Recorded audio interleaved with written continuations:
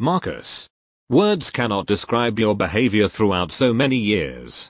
I can't believe that you got divorced because you took Gustav to conversion therapy. He's now your ex-son after what you did to him. That's totally it young man. You're so grounded grounded grounded grounded until Gustav and your sister get married.